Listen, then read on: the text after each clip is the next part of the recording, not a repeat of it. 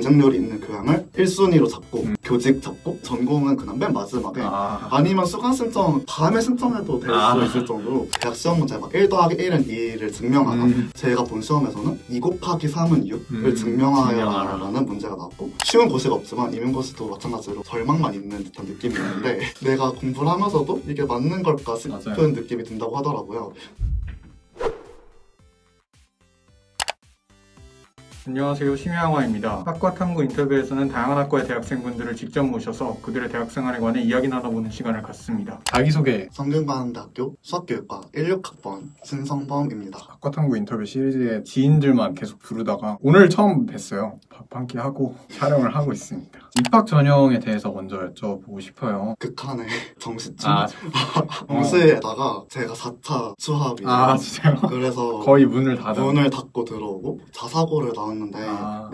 막 많이 힘들더라고요. 내신 그래서 챙기기가 쉽지 않죠. 정시를 열심히 팠죠. 음, 저는 재수해가지고 정시가 얼마나 힘든지 잘 알고 있어요. 그쵸. 수교과에 원래 지망을 좀 하셨나요? 아니요. 아 그거 정시는 거의 점수가 나오고 나면 그쵸, 그때부터 그쵸, 그쵸, 그쵸. 과를 살 피는 경우가 많기 때문에 네, 제가 수학을 진짜 아, 못했어요. 아, 네. 모의고사 등급이 항상 4등급 음. 이렇게 나오다가 수학은 버린다. 수학 버리고 나머지를 잡자 했는데 수능 때 반대로 나왔어요. 수학만 1이 나오고 아 나머지가 다 음. 망쳐졌고 배치표 나왔는데 마침 성대 수교가 있길래 음. 오게 됐죠. 아, 교직이나 수학 쪽에는 거의 관심이 어- 없었고 수학은 진짜 아니었는데 아. 평생 수학 다시 안 할 줄 알았는데 교직은 계속 선생님이 되고 싶었어요. 아. 막 고등학교 때 교육봉사 동아리 만들기도 하고 되게 좋은 선생님들을 많이 만나가지고 음, 맞아요. 아 나도 저렇게 되고 싶다. 그게 보통 계기가 되죠. 네 맞죠. 그쵸. 사범대 쪽에는 원래 이제 관심을 두고 네, 계죠. 그래서 원래는 자연과학 대학에 이과니까 가서 생물이나 화학 전공을 선택하고 교직 기술을 하려고 했는데 음. 점수가 딱 맞아서 마지막에 딱 들어온 거죠. 좋네요. 일단 학점 공개가 가능하신지 학점 제가 굉장히 좋은 걸로 알고 있거든요. 그쵸 인스타에 네. 제가 스토리에 계속 네. 올리잖아요. 학점이 진짜 잘 나오셔가지고 네, 그쵸. 근데 그게 작년만 그랬어요. 학점을 좀 올려야 되는 상황에 제가 처했었어가지고 네.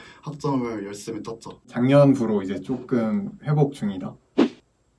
느낌? 원래, 원래도, 괜찮 원래도, 준비했어요 원래. 원래도 3.78 아 이렇게 괜찮. 나왔는데 아 원래 잘 아, 하시네. 두 학기 계속 4.5 음. 받고 4.44 이렇게 받아서 근데 사범대 수학 교육과다 보니까 사실 세부 전공이랄 게 딱히 있나 싶은데 없어요. 없죠. 이 하나의 정해진 길을 차근차근 차근 가야 음, 자격증 조건을 위한 그 길을 네, 쭉 그리고 밟는. 수업들도 그리고 수학이 앞부분을 모르면 뒷부분을 공부를 할 수가 없어요. 그래서 1학년 1학기부터 4학년 2학기까지 학기마다 정해진 과목을 음. 들어야 그리고 사범대학은 특히 뭐 만약에 국문과가 원전공인데 교직 기술을 해요. 교직 조건을 다 못 채워도 졸업이 가능한데 음. 사범대학은 자격증을 받는 조건을 못 채우면 졸업도 안 돼요. 아 졸업이 아예 네? 네, 아예 아. 졸업이 안 돼요. 그러면 커리가 정해져 있잖아요. 음, 음. 수업이 배정이 되나요? 아니요, 그건, 아, 또 그건 잡, 아니에요? 잡아야 돼요. 대신 저희는 수강 신청이 진짜 쉬워요. 안 들어야 되는 수업이 없기 때문에 TU가 넉넉하게 배정이 나오고 음. 1, 2학년 때는 교양들을 들어야 되니까 경쟁률이 있는 교양을 1순위로 잡고 음. 교직 잡고 전공 은 그냥 맨 마지막에 아, 아니면 수강 신청 그 시간이 지나서 다음에 신청해도 될수 아. 있을 정도로 그러면은 강의에 대해서 조금 더 자세하게 들어가서 얘기를 해볼 거예요. 보통 강의 방식이 어떻게 되는지 사범대학교는 약간 일방적인 강의가 많을 것 같거든요. 제 예상으로는. 뭐 교육학이나 이런 걸 배우려다 보면은 어 그게 전공 수학은 교수님들의 강의예요. 그쵸 일방적인. 교재를 보고 혹은 PPT를 보고 입시 공부했던 것처럼 음. 판서를 막 열심히 해요. 그럼 그걸 아 열심히 받았었고 질문하고 또 공부하고 그렇게 되고 그래서 대신 팀플, 뭐 발표 이런 게 없고 과제도 보통은 없어요. 음. 있어도 문제풀이, 숙제 같은 느낌. 또 어떤 교수님은 중간 50, 기말 50 해서 시험 음. 두 번으로 점수가 다 결정이 되기도 하고. 근데 수학 교육학은 완전 달라요. 제가 들었던 수업이 수학 교육론이라고 수업 지도 안 짜고 수업 설계하고 수업 아, 시연하고 직접. 네, 동료 평가하고 아 재밌겠다. 네, 진짜 재밌었어요. 그 피타고라스 정리 부분을 아, 네. 했는데 그걸 이제 색종 이렇게 잘라가면서 음. 붙여볼 수 있는 수업을 짰는데 재밌었어요. 준비하는 것도 진짜 재밌었고. 그러니까 이론을 두고 이걸 어떻게 하면 효과적으로 가르칠 수 있는가를 네. 설계하고 공통 교직은 매주 학생들의 발표로 보통 진행이 돼요. 네. 발표 다들 엄청 잘하실 것 같은데 그런 것만 장난도 아닌가요? 또 교직마다 너무 달라요. 음. 어떤 교직은 발표가 너무너무 쉬운 교직이 사실 많아요. 근데 제가 저번 학기에 진짜 어려웠던 수업이 학교폭력 수업을 들었어요. 아, 이게 또 중요한 쉽지, 문제잖아요. 쉽지 않네요. 학- 기말고사 대체가 저희가 학교폭력 예방 프로그램을 직접 짜는 거였어요. 아. 한 차시분 혹은 전체 프로그램을 어. 짜서 발표하는 거였는데 어렵다. 제가 해본 교직 팀플 중에 제일 어려웠던 진짜 그건 어렵겠네요. 네. 교직 수업에는 다양한 학과 사람들이 좀 섞이겠네요. 그렇긴 한데 저희 학교 사범대가 진짜 작아요. 딱 네. 개과.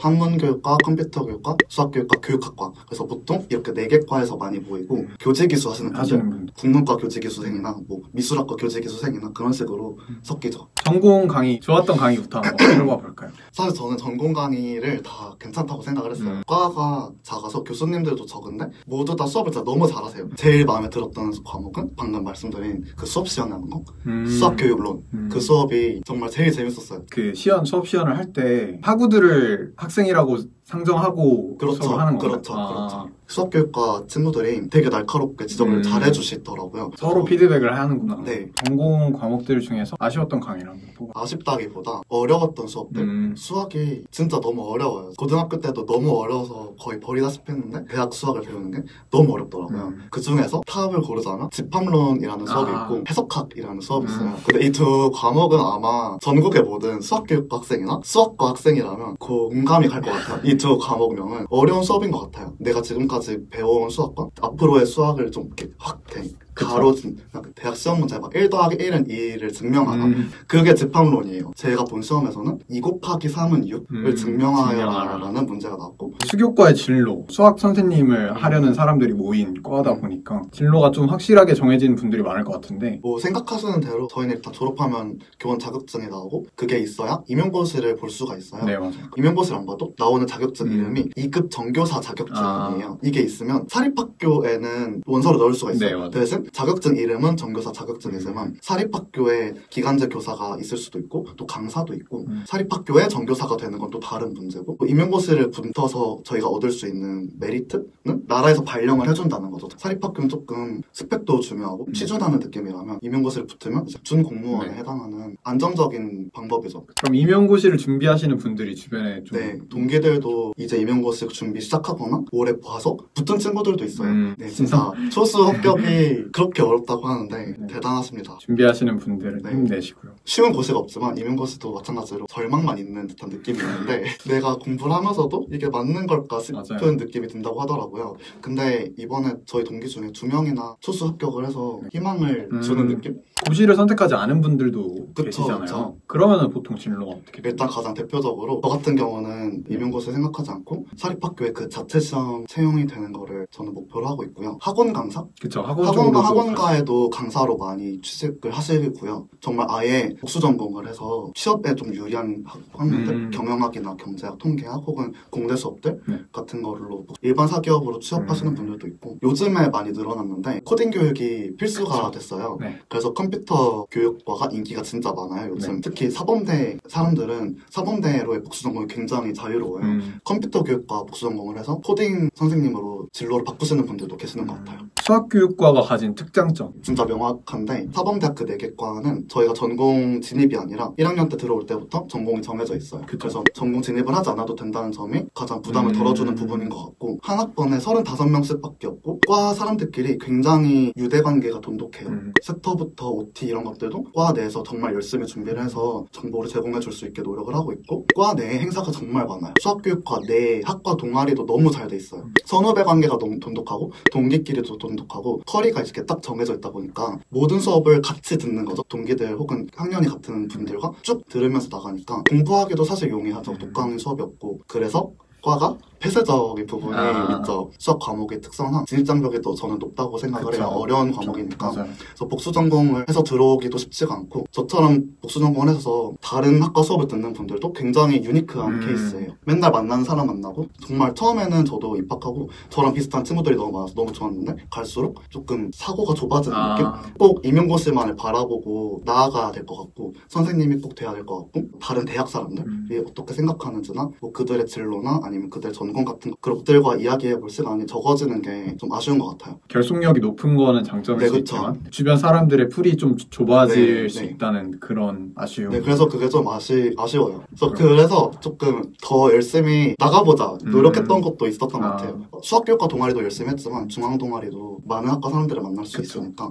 거기서도 정말 친한 친구들을 많이 만났기 때문에 작업실을 잘 아는 건 아니지만 인스타나 이런 거 보면은 핵인싸의 느낌이 아 제가 아, 핵인싸는 아니고 그냥 관종 아, 네. 인싸라기 뭐야 그럴싸 학교 다니면서 인사하는 친구들은 진짜 많아요 지인들이 많은 거죠 그럴싸 아쉬운 점이 또 있을까요? 공부가 어려운 거 국문과 수업도 듣고 수학교육과 수업도 듣고 훨씬 수월한 것 같아요 국문과 수업 공부하는 게 음, 뭐 제가 많은 수업을 들어보진 않았지만 근데 가끔은 또 국어만 공부하면 질릴 때가 있어요 음. 그럴 때 수학 공부하면은 저도 그런 걸 느끼거든요. 네, 그쵸. 국정고 하면은 약간 시너지가 있어요. 맞아, 이거 맞아. 공부를 하면은 이게 하고 싶어지고. 아 맞아요 맞아요 특히 문과 이과 의 조합이잖아요 맞아요. 입시할 때 국어 공부하다가 맞아요. 힘들면 과학 공부하고 맞아요. 좀 지치면 영어 공부하고 그런 식으로 했는데 제가 지금 그렇게 하고 있거든요 그게 약간 지구력, 공부 지구력을 네, 높여주는데 맞아요, 맞아요. 도움이 되는 것 같습니다. 아예 다양한 걸 배우니까. 결이 아예 다른 맞아요. 두 과목을 공부하는 장점인 것 같아요 그러면은 다시 입학한다면 같은 과를 선택하실 건가요?